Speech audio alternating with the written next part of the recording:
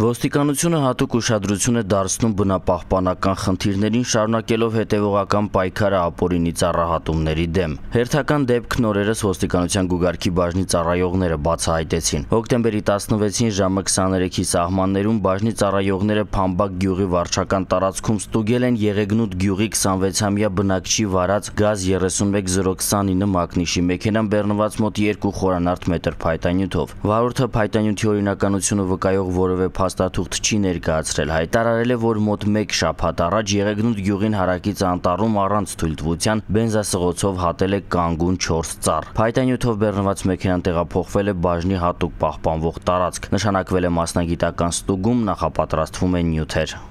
Ծանուցում. Ենթադրյալ հանցանքի մեջ կասկածվողը կամ մեղադրվողը համարվում է անմեղ, քանի դեռ նրա մեղավորությունն ապացուցված չէ Հայաստանի Հանրապետության քրեական դատավարության օրենսգրքով սահմանված կարգով՝ դատարանի օրինական ուժի մեջ մտած դատավճռով։